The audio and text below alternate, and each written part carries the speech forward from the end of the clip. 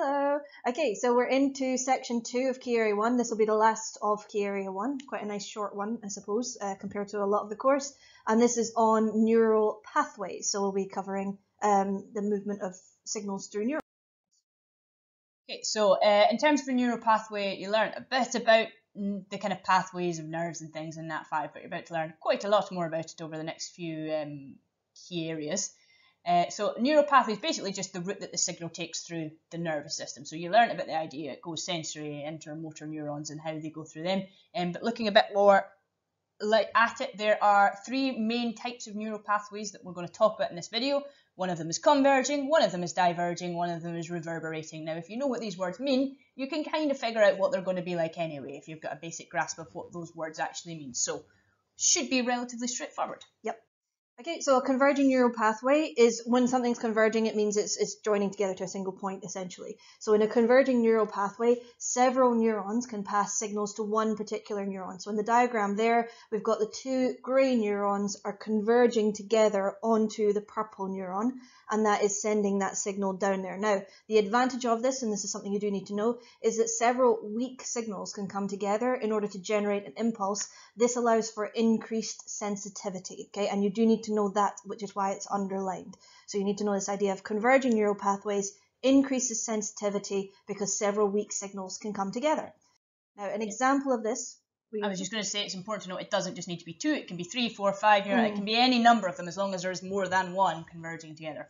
Now, an example of this, which you don't need to know, you don't need to be able to give examples in an exam situation of uh, functions of this, but an example just to set a little bit of context for you is seeing in low levels of light. Okay, so converging neural pathways from rods in the retina, so the back of your eye, mean that we can have vision in very, very low levels of light. The idea is each tiny neuron in the back of your eye picks up a tiny signal and then passes that down the main optic nerve, allowing for a signal to be generated.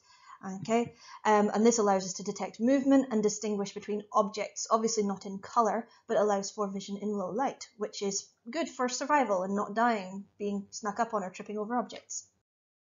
Uh, second one, which is diverging neural pathways, again, pretty much does what it says in the tin. If they diverge, they go apart. So that last time it was two or more neur uh, nerves coming together. This time it is going from one to two or more. Um, so basically, one signal from the nervous system is then going to be divided up into two or three or four neurons. So you can see in this case, we start with the green neuron, and the signal is then passed on to two different grey neurons. So it is being split between the two of them. Now, again, there's an important thing you need to know about it. Uh, this means that several neurons can be controlled using one signal, and this allows for more coordination between muscles and movement. So that's the important thing, you need to know that bit that's underlined. So the idea, it allows more coordination between muscles and movements when it is a diverging neural pathway. And again, here's another example of it. If nothing else, it's just a really nice GIF. It is. You don't really need to know this, like we said in the last one, but it's just a useful example of it. So diverging ones allow for much more fine motor control. So it's because it's got that link to your muscles, it means you've got a much better control. And in this case, it allows you to balance rocks beautifully, which is a skill I wish that I had. Um, so it just it allows for better coordination and just much more fine motor controls within your muscles to allow you to perform more complex tasks.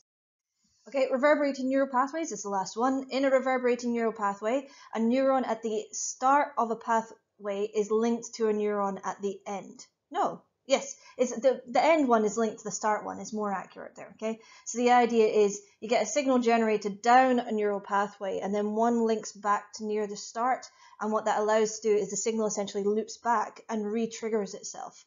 Now, what this means is that pathway can be repeatedly stimulated, allowing for continuous operation of that pathway. Again, that's the effect of the reverberating pathway you need to know most common exam question that I've seen about all of these actually is about reverberating pathways, and it's a picture of it, and you've got to identify it from its picture, and you've got to go, oh, well, that one's going back to the start, so that's reverberating.